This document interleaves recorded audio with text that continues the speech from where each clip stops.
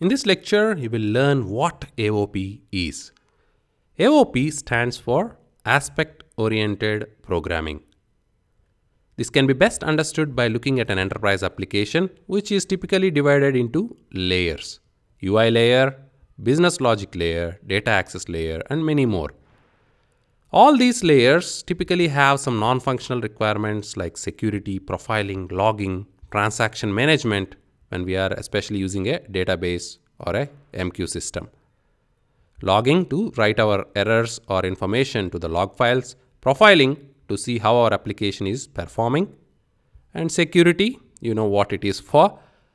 These are called cross-cutting concerns because these are required across these layers as well as across the applications in our enterprise or even another enterprise. Any application we develop will need all these and more. So that is where aspects come in and aspect oriented programming comes in. In object oriented world, we define a class and object is the key unit that represents that class. In the aspect oriented world, an aspect is the key unit.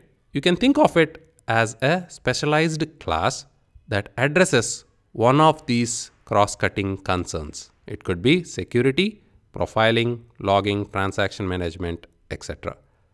So these as aspects can be applied to our classes and objects at runtime.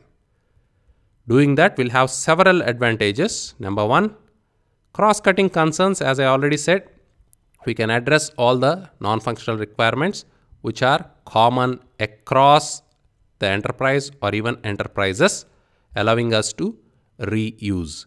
Once we develop an aspect, we can apply it across classes in our application and across applications.